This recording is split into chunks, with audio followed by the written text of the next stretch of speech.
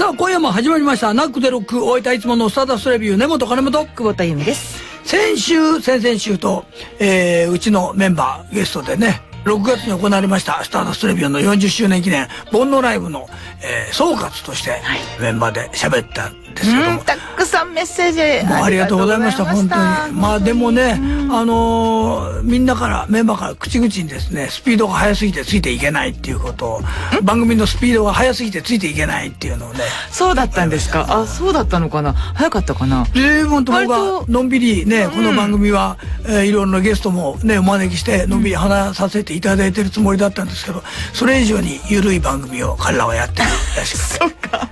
でもか皆さんのメッセージを見ながら割とゆったりしてた気もしたんですけどね、まあ、そういうね僕は気持ちでいたんですけど。でしょうかね。はい、さあということで今週はですねこの後、えー、馬場俊秀君が、はい。同じ埼玉つながりで、はい。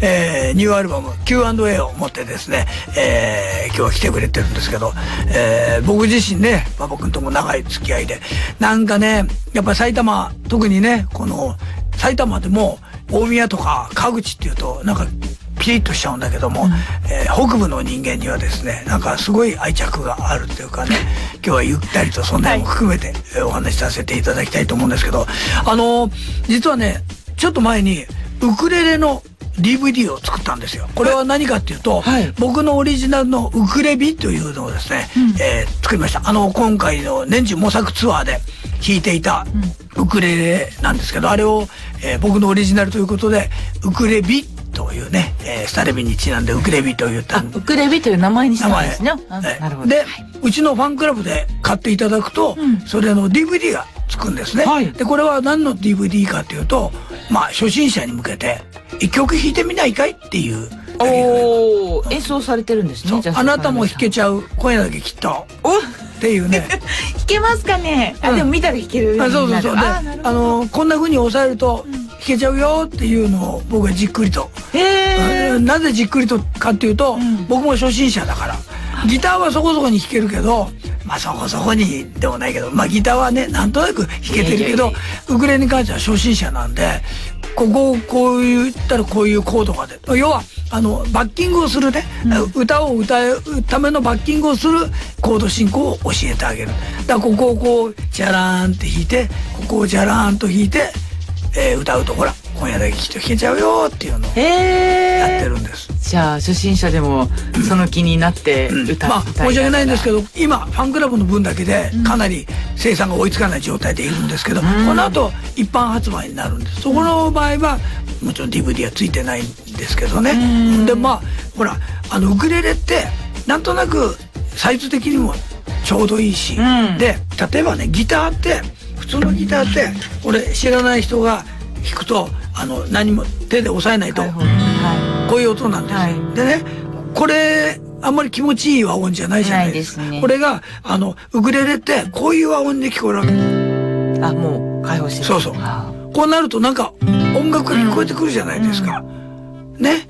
で、だからウクレレってなんか、音楽を想像させてくれやすいうん楽器なんですね。で、えーここをこう押さえたら、こういう音が出るよっていうのを、あの、紹介してるんですけど、もちろんほら、インテリアでもちょうどいいからね。そうですねあれ飾られてたじゃないですかあの煩悩ライブの時に。えおっさん店の方で、ね。おっさん店の方で、もうみんながもう絶対買うってなんかボソボソボソボソ。後ろでそうでした あれだよあれだよって言って、ん。なんか旦那さんが奥さんに頼んでるのも聞きましたし。あいわゆるあの普通のウクレレと違って、はい。エレキギター仕様のウクレレになってるんで、でかっこいいんですよ。それがちょっとねあのあのほらミニチュアのモデルみたいな感じで、うん。ね。インテリアでも僕はいいと思うんですけど、まあ、ちゃんと弾けるのと。あとねあのエレキギター仕様にした、えー一番のメリットっていうのはあの通常のウクレレってあの基本的には木でできてるからこのいわゆる弦を巻く糸巻きペグっていうんですけど、これとかも木でしっかり作ってあったりする。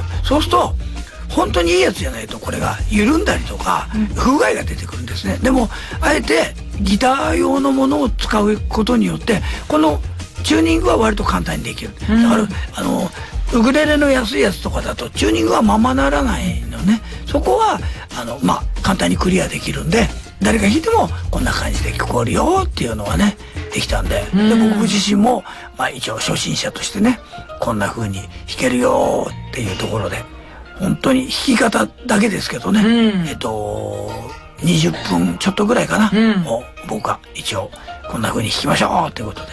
まああとはだからあれですよねウクレレの特徴とか気をつけなきゃいけないこと。やっぱ天然に扱ってくださいってね楽器だからね。そうですよね。ってな話をずっとしてたりするんですよ。うん。ちなみに僕のはいアトリエ G っていうね、えーギターを作ってくれるところそこから出てるんですけどあのギターの方は一応プロなんで本気モードになってましてそちらにも DVD がついてるんですね。うん。でこちらはあなたがギターをやめようと思った時に見てくれっていう 最終手段っていうの。最終手段。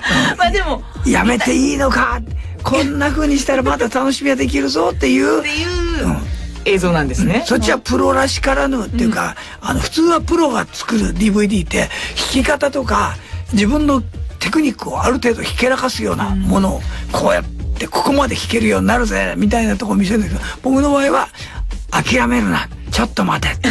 こんな人でも弾いてるよみたいな感じで。これどのタイミングで見るんですかね？まあ買って、じゃあ最初にそれ飽きてきちゃったら。あ、なんかこれも弾けないしこれも弾けないし、ちょっと大変だこれ以上上手くなれないかなっていう時にはその DVD を見るとそうか DVD までやればできるかな、うん。だからエレキギターのやつはもう諦める前にだけどこのウクレビ。ウクレビは？えーウクレレの方は最初に見てくれたら、うん。あのあこういう遊びがあるのかこういうふうに弾けるのかっていうことを学んでいただけるっていうかね、うん。僕はあのなんでそういうことをやってるかっていうと例えばエレキギターもあの一応プロで弾いてるけどもすごいギタリストじゃないんでその分を埋め合わせようっていうねなんていうのあの付録、うん最近はほら付録を充実させることで売れる雑誌とあ、まあすごいですよね。そうですね。うまあそんな気分でもあるんですよね。でもまあ、あの、ギターはできないけど、ウクレレだったら、いや、これだったらかっこいいからやってみようかなっていう方結構いると思うので、今回のウクレレに関しては。ね。そうなんですよ。はい。でもまあ今、ファンクラブだけでも埋まっちゃってるわけで。今はねちょっとしばらくは、生産が。うん。うん。それ一本一本ちゃんとサインもしておー。サインをしてる時も映像に映ってますけどね。これねあのね、まあこんなところで言っても買われる方に全員届くかわかんないけどあのいかんせん木の箱にしてるんであのうまく書けないんですよ。あーあ、あ、木の箱に入ってんですね。木の箱とか要するに、うんうん。ウクレレのボディに書いてるんですよ。あ、そうかそうかそうか。うん。でおそらくここなら消えないだろうっていうね、あとはあの肘が当たったりとかあの手が当たったら必ず消えちゃうじゃん。だからそのここなら当たる頻度が少ないかなっていうところを選んで書いてるんですけど、やっぱり普通にサインできるようなスペースじゃないんで、ん。非常に雑です、うん、サインは。一応僕のサイン。これは紛れもない僕のサインですけど、もしお友達がいたら見比べると違うものじゃんこれ。っ て言われるぐらい。まあでもしょうがないですよね。狭いところに書く場合はね。明らかに本人が書いてるってもうだから筆跡鑑定見たら根元かなって以外は出てこないっていう一応サインをね書かせて いただいてますけど。でもまあ自分でねよく考えるとギター弾き始めて自分のモデルを作るとは思わなかったしましてやそんなウクレレまでね作るとは思わなかったですけどね。うちもちょこんと置いてあったりして可愛いんでね。あの本当に一般発売はまだまだちょっと先になっちゃいますけど、えーそんなウクレビをですね、えーあの楽しんでくれる方に DVD も作りました。順次届くはずなんでですねちょっと待っていただけたらなと思っております。はい。さあこの後はね、馬場俊秀君、えー、Q&A というニューアルバムこれについてたっぷり語ってくれます。はい。その前に一曲お届けしましょう。スターダストレビュー、やっぱり会いたいよ。新しい世界が始まる抱き合おうキスしよう君と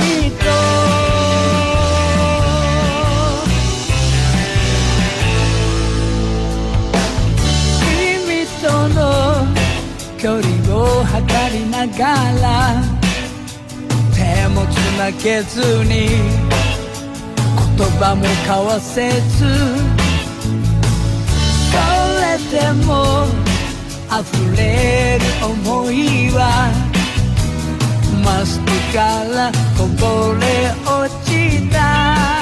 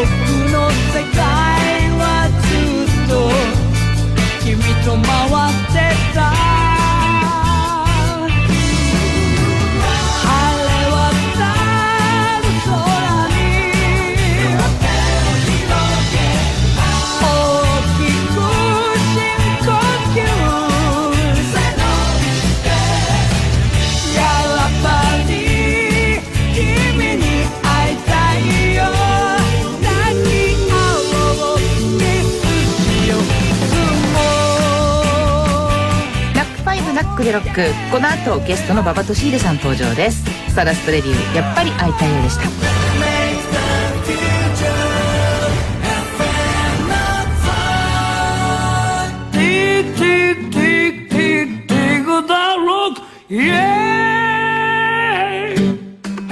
さあということで今週のゲストでございます8ヶ月ぶりということでね、はいえーようこそいらっしゃいました。馬場俊秀さんです。こんばんは、馬場俊秀でよろしくお願いしますす。よろしくお願いします。よろしくお願いします。もう馬場君はあのいつも配信で僕はあの見てるんで あのついこの間も終わっちゃいましたけども、はい。えークイズ日本中だだだんだんだだん。はい。カンちゃんとやってるやつね。それ見せていただきましたけど、はい。今回はねロングヘアなんだあれ何なんだろうね、はい、あれはですね、今回イージーライダー。イージーライダーでしたはい。ね、。ということで、あの、挑発でなければならない。ならないんだ。ピーター・ホンダの役でしたねどっちかっていうとね。そうです。それで、あのー、いつも毎回事前にこう告知動画っていうのを撮っていて。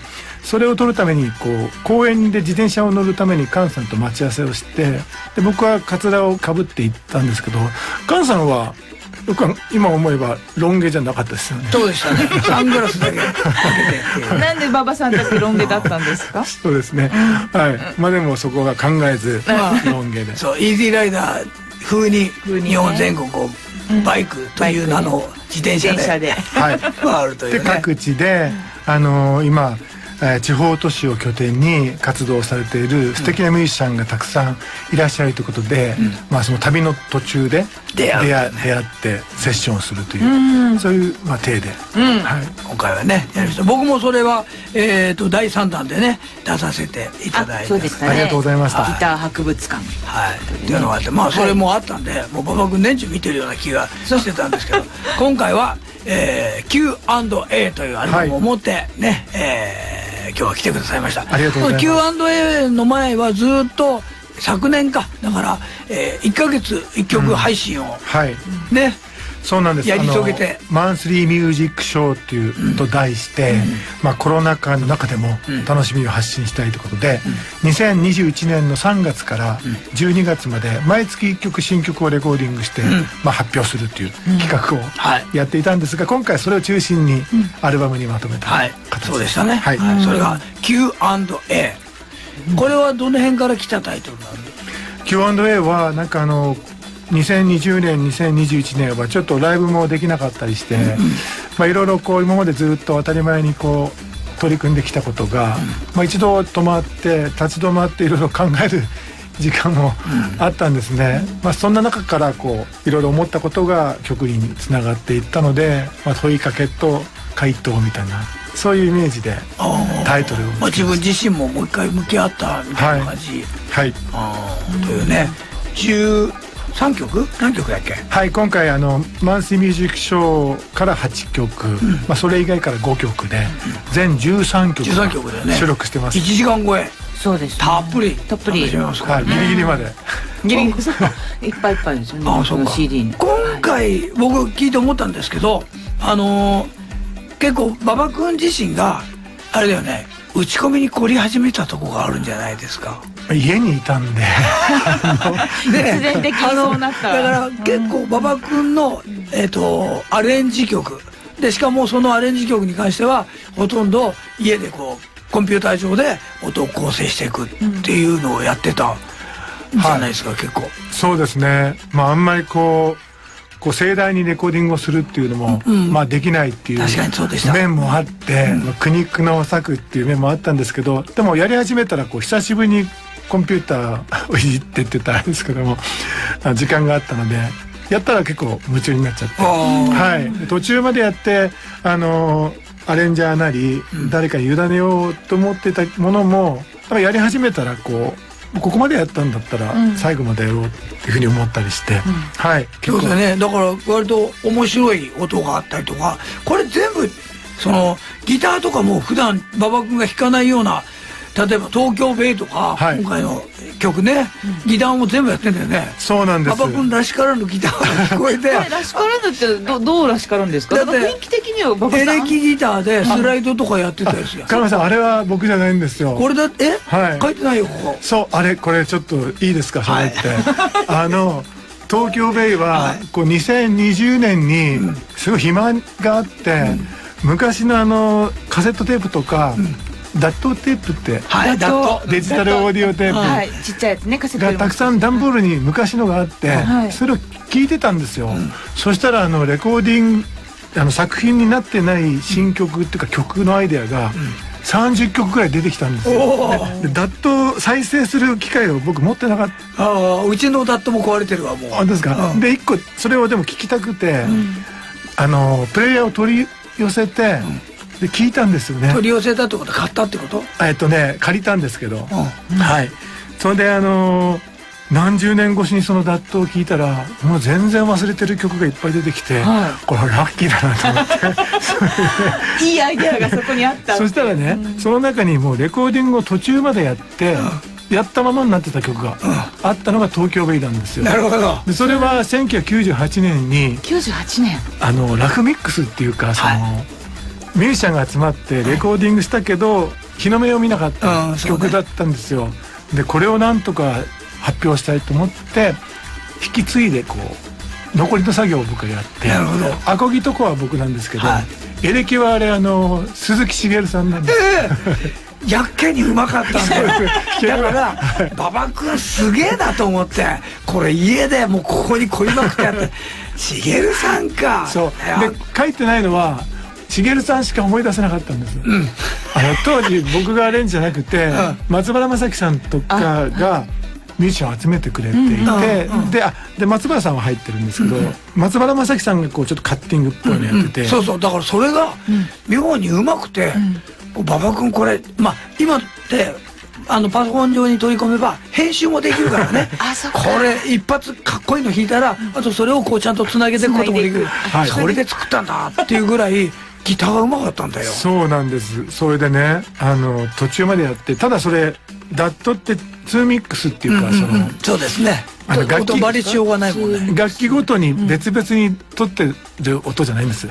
混ざったのしかない。んですそうなんですね。だからこれだけ、だうん。これだけ外そうっていうのはできない。できないんですね、はい。ダットの場合は。でだから「マスターテープありますか?」って当時のレコード会社に問い合わせをしたら「ない」ない。それで「なんでないんですか?」って言ったらやっぱりその製品になったのはあるけど、その途中でレコーディングで試したみたいなのはそのマスターテープはもうないって。でそりゃそうですよね。ってでもね、はい。これね言っちゃなんだけど絶対探したらある。えそれはね探すのがむちゃ大変なんだって。ああ倉庫に。大変。そう。だから一度取ったものはほとんどの場合消さないらしい。まあ今アーカイブにしてはい。とか今ねあのうちもそうなんだけどレコード会社から捨てますよっていう報告が来て、でそれをなんとかアーカイブにして残そうと。大変なもしかしたらねこれから貴重なものも出てくるかもしれないからでこれ探したりとか、はい。まあもしかしたらタイミング悪く廃棄されちゃったかもしれないけどね。ね、なんかレコード会社も一回こう移管っていうかその違う会社に生まれ変わったりしてるんでいろいろ変わってるんで。でじゃあダメかなと思ったら金部さんびっくりしたんですけどその2ミックスのダットテープをコンピューターに取り込んで解析をして楽器ごとに分けるっていう。あのさそんなことができるんですか？ちょっと待って。俺はねそれを、はい。あのビートルズの「ゲットバックで」えーピーター・ジャクソンって映画監督がそうやったよっていうのは、はい。俺は聞いて、へえそうか。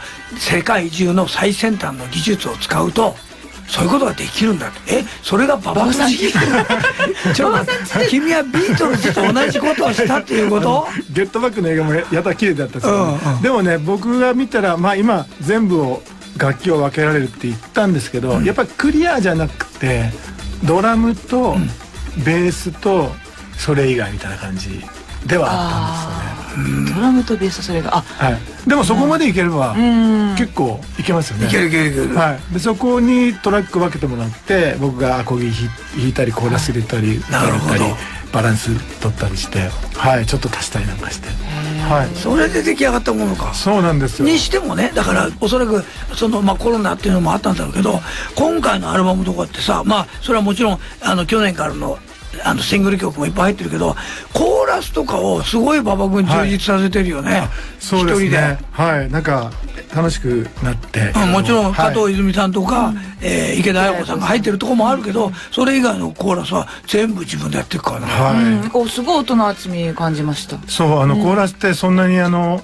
ちょっとハモですか、メロディーのちょっと上のハモぐらいしかあんまりかつてはやんなかったんですけどいろいろ要さんたちと一緒にイベント参加させていただいて、やっぱりコーラスがすごくってやっぱ楽器と同じぐらいにもう曲にはそれ以上の、で最初からそういうアイデアがあってで僕もちょっと混ぜていただいてなんか自然とそういう発想がなるほど。生まれコーたのかもラスね、はい。コーラスがあると、ボーカルがまたこうなんていうのふくよかに聞こそうえたりする。ですよね、うん。より優しさが増してる感じとにかくじゃあそのアルバムの中からなんかあのこれをじゃあ聴いてくれっていうのをまず一曲聴こうよそうですね。ますか？まあここまで東京弁の話したんだった来るか それは来るよ俺もそれを望んでたよ。そうそう来るよなと思って。はい、なんでじゃあ。1998年にレコーディングした曲を2021年に引き継いで完成した「東京ベイ」という曲を聴いてください。 NACK5 ナックでロック。今夜のゲストは馬場俊英さんです。ニューアルバム Q&A に入っているこの曲は約20年の時を経て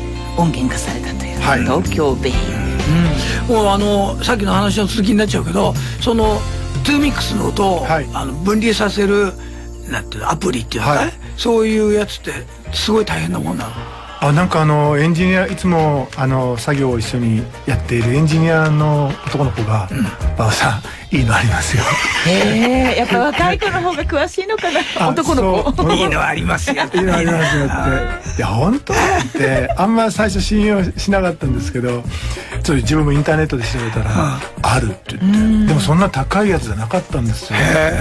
何だったかな。あの、もう10万円しないぐらいのソフトで。で、びっくりししました。でもあの、本当あの、エレキギターのその1弦から6弦まであるでしょ、でジャラーンって鳴らして和音を弾いて、それ途中の音を直したりするんでしょ今そうそうそれもであるらしいね。ええだからそんなこともできるんですか今あのちょっとチューニングの悪いやつとかをピュッて直せるのもあるんだって、だからね言っときますよ。あのねほとんどはミュージシャン嘘つきだっていうこと。をまずまずこのリスナーの皆さん知った上で。でもほらライブでは嘘はつけませんかだからライらブ見ろって言ってんだ本当にね下手なやついないんだ今 音源はね。音源は。すげえもん。みんな。びっくりしました。でも要さんもじゃあこうダットで生まれ変わる曲があったりするか俺もしもだかられませんよね。今うちも今ダッとごっさりあるんだよ、はい。ただ俺の場合は作りっぱなしの曲とかほとんどないと思うんだ。よ今馬場君の話聞いて、はい。俺もそういうのあるんじゃないかと思ったんだけどいや俺にはない。俺だって打率すげえ高いもん。つ あの,、あの作ったら絶対製品化するっていうかすごい。俺使ってないものなんかほとんどないんじゃない？ああ馬場さん打率はどれぐらい？僕はまだあの出してる作品も少ないですしあのそういうことで言うと出してないアイデアは結構あるんですよ。おそれすごいよね。100ぐらい俺それすごいじゃん、俺あって23だよね。に23ってことはないと思うけど。いやいやだって23あのはないと自分でよく考えてみたらその中学校の時に、えー、とコンテストに出たんだけど、はい。それがいきなり音源になっちゃったりもあるわけ。であの自分が作った曲ってだアマチュアの頃ってほとんど音源化されちゃったりするんだよ。普通はされないもんですよねね。きっとね。アマチュアの頃のがされてたよ。いや僕なんかもうししていいって言ってもちょっとしないでくれっていうレベルのなんか アマチュアのそのなんていうんですかね。隠れた曲がある。はい、もうあのダメですね。馬場君はあのお兄ちゃんと音楽活動してて、その頃は結構はい。パンキッシュな、あー結構行きまくりの音楽で。そうでしたね。これ歌かっこいいんだよ。いやいや川上さんそうおっしゃってくれるんですけどもう全然。いやいやちょっとそんなこと言ったら聞いてみたくなりねますよね、でもまあ本当馬場君ってすごい音楽たくさん聴いてきた人間だから、あこっちもかじってたんだと思うけどね。でもね僕はねその「ボーイズ・オン・ザ・ラン」を聞いた時は衝撃的だったな、本当になんかこんなことを書ける人がいるんだと思って。でも僕はね大好きな曲だから今もなんかやると一緒にやらせてもらうけど、その例えば語りからね、えーテーマに入ってってみんなで歌うところその語りに出てくる小説家みたいなさ語り口調でこんなことをやってた人誰もいねえだろうな。俺ねすごい衝撃的だった本当に、なんかあんな辺の馬場俊ではねあの最近僕はちょっと見られないのがさ切ないなと思って。はい。はい。あのちょっと心当たりあります。心当たりありますっていうのは。なんかモードが変わってきたんですかねいろいろ。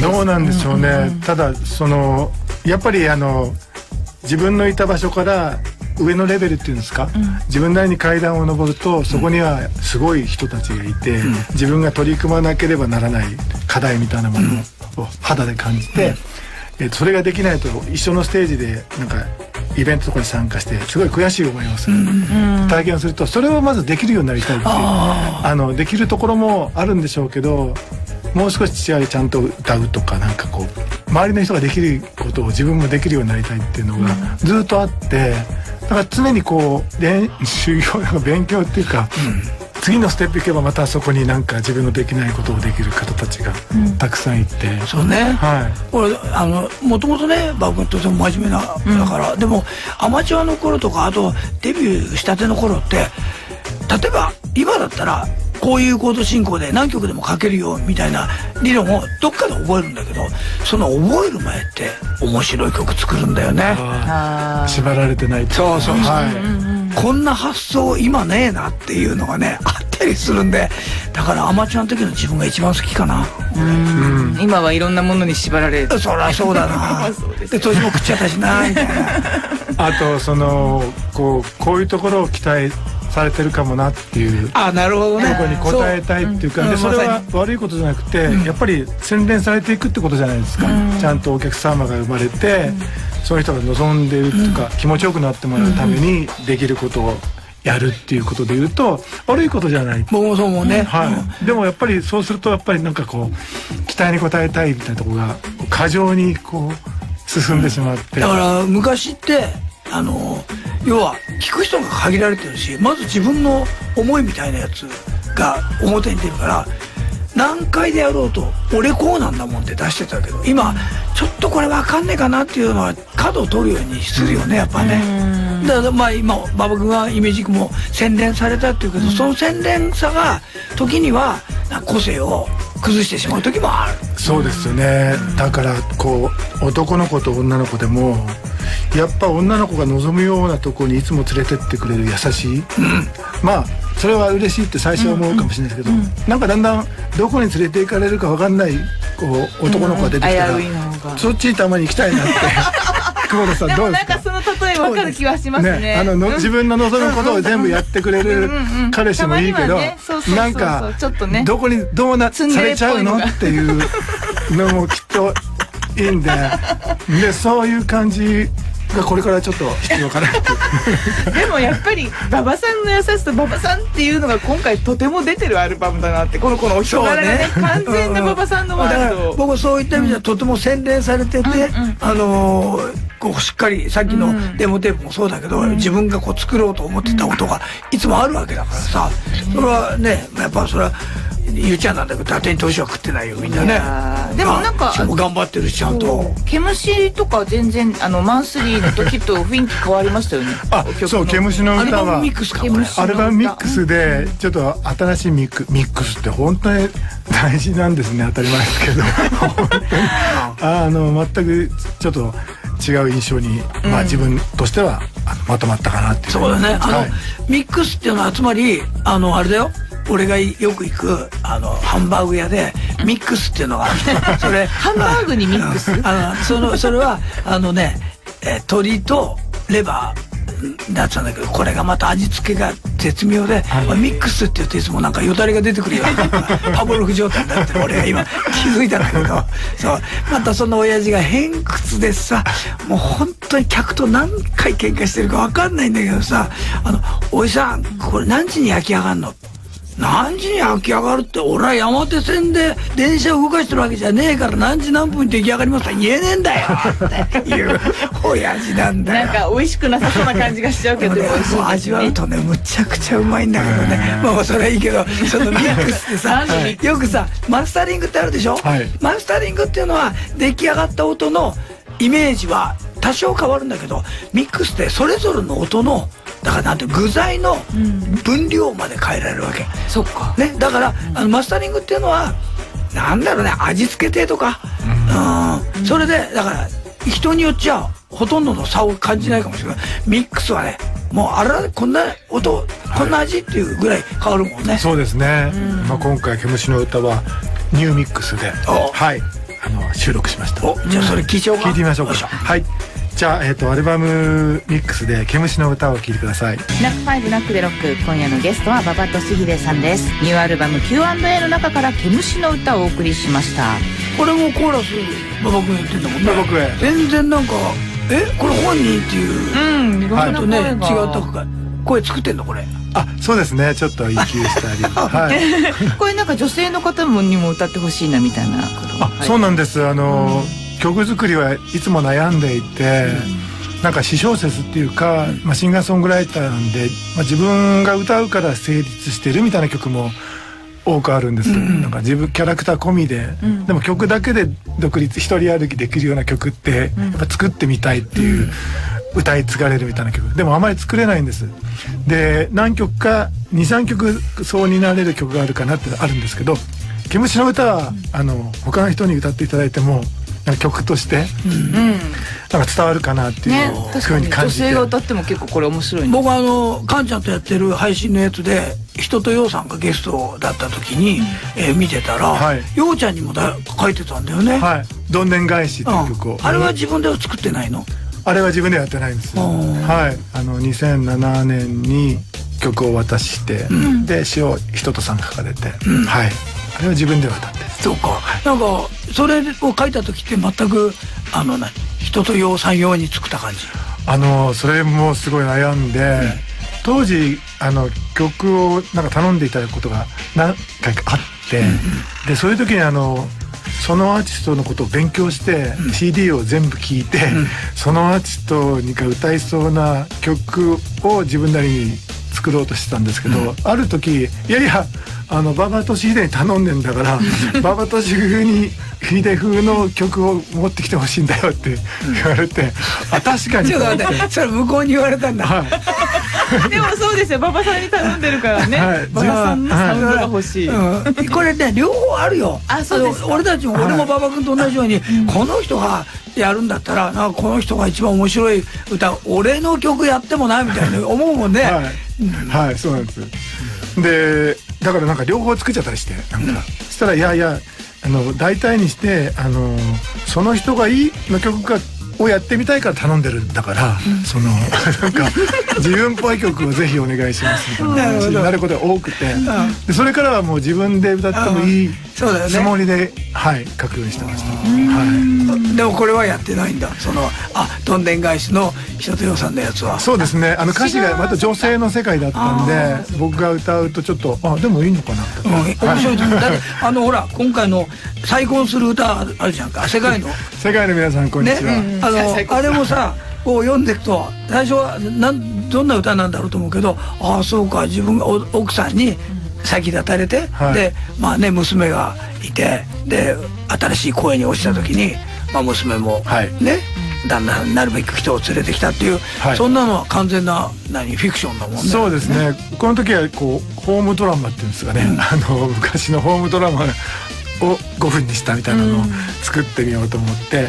でなんか50歳ぐらいの恋愛の歌ってそんなになんていうんですかね50歳の状況の設定出てあんまないのかなと思ったんでどうしてもちょっと。若い時の感じはいチャレンジと思ってちょっと作ったんですけど、はい。まあねだからいつもそういうチャレンジをしてる馬場君ですよ。もう女の人の歌もいいじゃないですか、ねそうですね。あ確かにあの今度もうその発想がなかったんで。やってやってみてそっか人にお渡しした曲は一度もセルフカバーはしたことがないんですか？男性のは歌ってあそうですはい、藤井フミヤさんに書かせてもらったのとか、あ詞曲でやってるのはもう自分でもつ,、ついつい歌ってしまうっていうか。あでもはい。詩を書いてもらったやつに関してはやっぱりちょっとはい自分の感情ではないから、難しいですかねやっぱまあでもそれはライブで歌ってたりするんだもんね。そうですね。ね。ライブで、はい。そのライブがですねこれから立て続けにあるわけです、えーまずあれだね。あの配信で、はい。もうすぐだねこれね。えっ、と8月6日に、えーそうなんです。馬場の日記念。はい。8月8日を馬場の日と読んでるんです。読んで。はい。毎年 馬場の日に何かファンの人と楽しめることができたらいいねって言って、まあライブをやることが多かったんですけど、えーそうではなくて今回は配信で思いっきり「馬場ステーション」っていうのを、えー配信生配信しようと思ってます。これ何何やるんですか？思いっきりバこれはあバステーション。の弾き語りでちょっと、あのまだあのライブが僕がその土地に行けてない町にお住まいの方だったり、えっといろいろご職業とか環境によってまた会場に来れない方もね声を聞くと多くいらっしゃるので、ライブもやるんですけどいけないみんなで一つ楽しめることをっていうことで、まあ、配信でライブをちょっと聞いてもらったりあと曲作りのなんかエピソードとかを、なんか再現っていうんですかね、やったりとか、はい、あとはあの電話をつないで思いっきりババ電話っていうのを えこれ完全にお一人でされされるんですよあの DJ の友達の内藤聡さんって方がですねはい。ね。やってきて、あのラジオ仕立てで、はい、あの生配信なので、電話をつないで、ズームなのかな、ズおー。ームみたいのでちょっとリスナーの方と何件かつないで夏の予定とかなるほど。その近況って世間話を そのこ交流をできたらいいなと思ってまあどうなるかねちょっと初めての試みなので、はい。その予定してます。なるほど。もう名司会者ですもんね馬場さんの最近はね。まあ でもまあ内藤君内藤君いたらね結構これはね。はい。内藤君はあの第2回あのババカンの配信ライブのえっと卓球。ね卓球の会のはい審査員。し審判員だよね。審判員。審判員やってくれて。はい。あそうだったんです一言ねも喋らず。お怒ってたよ。黙々と審判 喋らない仕事は初めてでした。ね。確かに。喋る仕事の人なのに。っていうのもあり、そしてその後に、えーアコースティックツアーが9月から。そうなんです。ねはい。えっ、とこれはサポート1名と僕の2人の編成なんですけども、広島や福岡はちょっと久しぶり1年半2年ぶりぐらいなんですけども、また少しずつ足を伸ばして、えーこれをきっかけにライブが再開できたらいいなという始まりのツアーです。はい、まあね馬場さんのホームページからね11公演ありますんで。またこれあれでしょ？あの他から今11月25日が大阪が最後になってるけど、はい。他からオファーがあればさどこだって行くじゃん、そうですね。ケツ決めなきゃいいのにって俺は思うんだけど毎回。だってさ回りたいもんね、そうなんですよね。あの、まあ、今回あの、加山さん、ライブって結構1年以上前から場所をブッキングし決てる。めるでしょ、それで僕決められなかったんですよ。どうなるか分かんなかったから。ああそのコロナはね本当にこのミュージシャンにとって先のスケジュールを抑えないとコンサートって明日やりますとか明後日やりますってできないからね、はい。最低でも半年前1年前には会場を抑えるってことだはい、もんね、でちょっと僕弱気だったっていうか、まあ。あ、んまりいっぱい組んじゃって迷惑かけてもね、いけないと思って今年の春になってからやっぱりやろうと思って、それからいろいろ調整していただいて、で会場できるとこを探して、まあツアーを組んだんですけども、なんでそうですねまだ。まだまだ空いてるとこいっぱいあるし。そうですよね。それこそねギターギターバビちゃんが行くんだバビさんのバビちゃんとね、はい。さ二人旅で、はい。どこだって行けるよそれ。そうですね、なんか近づいたら逆に会いたりする場合もあるって聞そうくがあったんで。あそうね、はい。だからきっとこの僕馬場の日に配信するじゃんか、はい。そしたらその時にあの僕はこんなことラジオで言うのもなんだけど行ったことない県の人特にね、そうで、うん。会場の空き状況。でねう俺行くよそこに。いやねだって東北とかも入ってないし。そうなんですよね。はい。これはあの僕らの経験上行くとあのスタッフうちはスタッフがブッキングするときに、えー下手な時に行くと雪深くて行けないっていう。だからそこは気をつけろと。季節がですね、これはあのこの時期には行ってはいけないっていうはい。場所もある。みたいですよこれは本当に、まあ、生活してる方には申し訳ないけども、それぐらいなんか僕らの場合機材とか運んでったりするのにここは3日は見とかないとうん。厳しいぞっていう場所があるんですって。11月とかでもダメですかねまあ雪大丈夫ですよはこの辺は。はい。はいね。じゃあもうこの後追加っていうのがあればまたあねそうですね。ちょっとできる場所があればいろいろ検討したいと思ってます、ねたくさん歌ってきてほしいなと。うん。思いますありがとうございますね。はい、そんなライブをですね、まあせっかくもともと慎重だからね馬場君ね。やっぱコロナとかでもうじゃあなるべく皆さんに迷惑かけないように、まあこの辺がね埼玉気質だね。俺たちはあの埼玉県ってなんかほら東京に寄りかかって生きて生きてきてるから、あの東京の皆さんにご迷惑かけないようにっていうのがねあるよ。やっぱり。そそうですか？埼玉気質なんですねそうですね。あんまり前前に前に出てく感じじゃない。ですね、はいまあ、東京がいるから。そうね、俺たちはそこに寄りかかって生きてる県なんだはい。特にあのあれですよ。あの埼玉北部に生まれ育ったらそういう気持ちは強いですよね、はい、でこの間でもさなんかねたまたまなんですけど「君はもっとあのずうずうしくやんなきゃあのダメだよ」って。言われた誰が言った？誰が？それはですねあの前サザンオールスターのギターを弾かれてた、はい。大森さんは？い。一緒にイベントでご一緒させて で僕ファンなファンなんでお話ししたら「宮本」で愛のあるいろいろなんかそれだけ言ったらそういうなんか嫌だったみたいな今エピソード聞こえたら嫌なんですけど そうじゃなくてでも響いたって自分に響いたあのお話だったんで感謝してでもこれ気質だからね。そうですね。あの前に出たい人は前に出たくて出てるわけじゃないんだよ。そういう気質なんだよ、もう俺俺俺って出てっちゃう人もいるんだよね、これ難しいよね。馬場さんはそうじゃない ちょっとでも考える必要はある オレオレになってくるのかしらはい、ということでね、えー今回の Q&A、えーこれがですね、え3年ぶり、えー6月にリリースされております。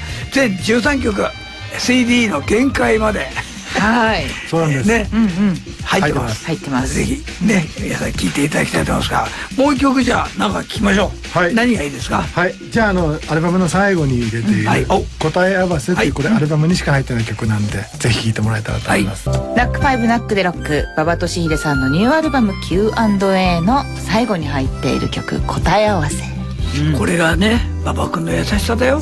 歌詞の世界も確かにね優しいけどアルバムにしか入ってない曲をオンエアしちゃうんだ これならしない。もったいないから。これはアルバム買って聴いてくれっていうの。惜しげもなくはい。全くこれが教えないですよね。これが馬場気質だ そういう気がないの馬場君は。発想があります。あの細がなかったはい。あでも確かに、はい、CD もお願いします。ね、はい。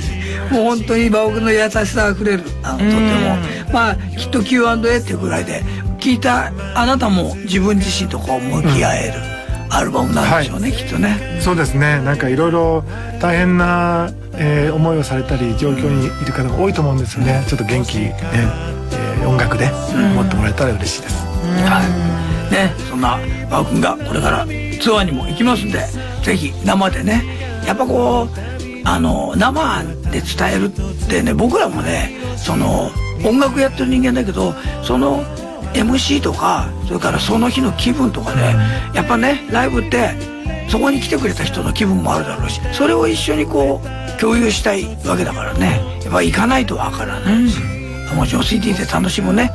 やり方もあると思うんですけど、ぜひライブ会場で、はい。はい、これ楽しんでください。はい、はいお待ちしてます。ということでございまして、えー Q&A を持って今日はね馬場俊秀さん来ていただきました。はい。ちょっと聞きたいことは、うん。去年の1ヶ月1作のリリースってはい。